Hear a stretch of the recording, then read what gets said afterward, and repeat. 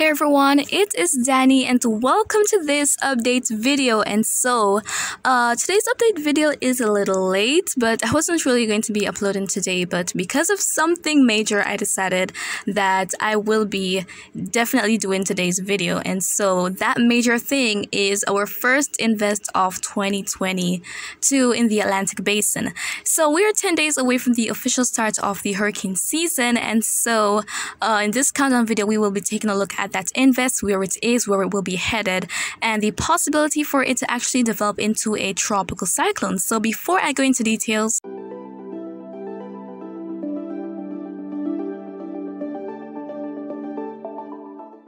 Alright, so first things first, we are taking a look at satellite imagery and we see that we do have some activity off the coast of Africa in that region and we also have a low pressure system that is out in the Atlantic and then moving westward towards the Gulf of Mexico, we see some very deep convection. That is where we have our invest. So it's invest 90L and it is located in the Gulf of Mexico and so it is uh, highlighted as a disturbance by the National Hurricane Center. So let's go ahead and take a look at their map now.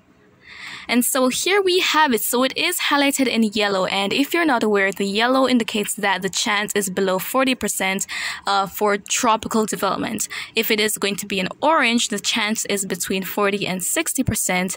But if it is in red, the chance is greater than 60% for us to uh, for us to possibly see some development of that system. And so that thing there, it isn't likely that we will see development as it's going to be heading inland very soon. However, might re-emerge into the Atlantic, and that is where we could see something maybe try to develop off the southeastern coast of the US. And so as of right now, we have a low 10% chance of seeing this thing here becoming a tropical cyclone. However, you might be thinking, Hugh, this thing won't be affecting us as a cyclone.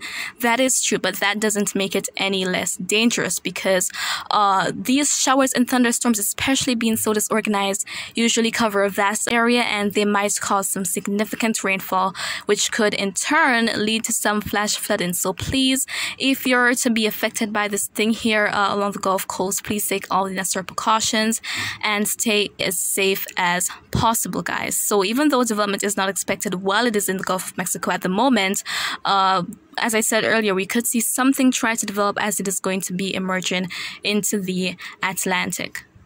And so now let's go ahead and take a look at what models are expecting. So we don't have a vast number of available models, but we're working with what we have here.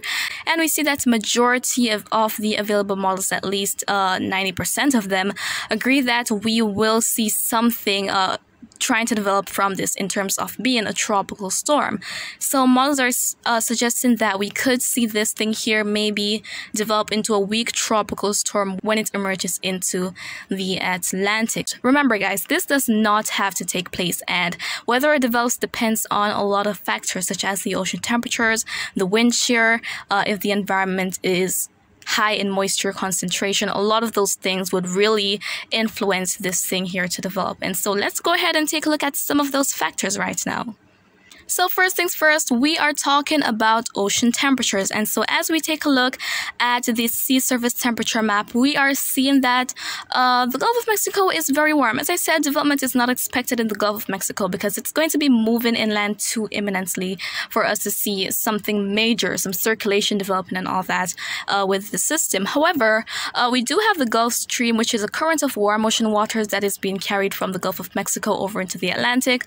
So that thing there is known to few tropical cyclones off the southeastern coast of the US. And that is the area where we're expecting that 90L is going to be once it uh, moves out of the States. So if it's going to be lingering there and we have a moist environment, we could definitely see something develop from it. And so temperatures are definitely above average because taking a look at this anomaly map, we're seeing that the Gulf of Mexico definitely has above average temperatures indicated by those oranges and reds you're seeing. So whenever you see a very pale yellow going to oranges and reds, that indicates that the the sea surface temperature is above normal, whereas if you're seeing white, it indicates that things are pretty normal. However, if you're seeing blues, that indicates that temperatures are below normal.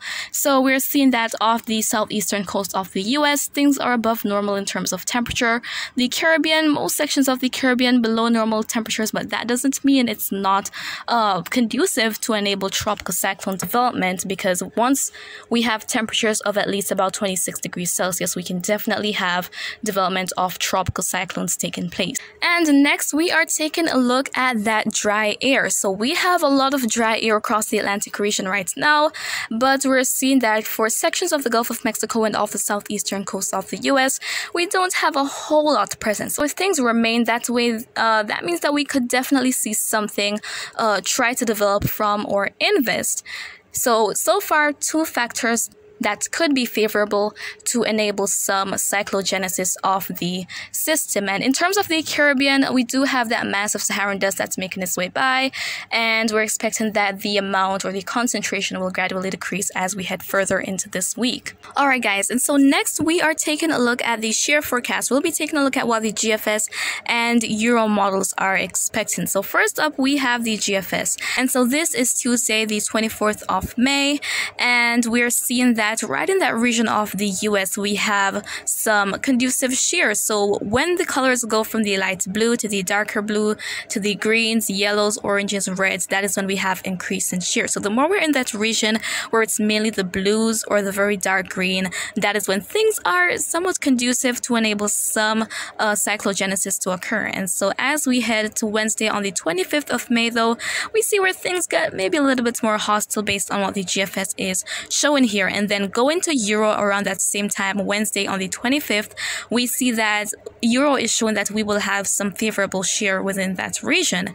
And so once this, as I said, once that shear is conducive, once we have a moist environment and then warm sea surface temperatures, we definitely have favorable conditions that could enable some intensification of that low once it makes its way back out into the Atlantic. And I want to point out something else to you guys. So the Euro model is picking up on maybe a low pressure system right uh, off the coast of, I would say, Virginia, North Carolina, thereabout. There we have it. So maybe we could definitely see something come from this, guys. But as I said, regardless of development, this is going to be producing a lot of showers and thunderstorms along portions of the Gulf Coast of the US. And so, guys, please take all the necessary precautions and stay safe. And please do not take any unnecessary risks. And so, as time goes by, I will definitely be keeping you updated on the tropics as time goes by. And so, if you found this video to be quite informative, please give a thumbs up and you can also share your thoughts with me in the comments or ask a question. I will try to respond as best and as soon as I can. And so remember to always be weatherwise.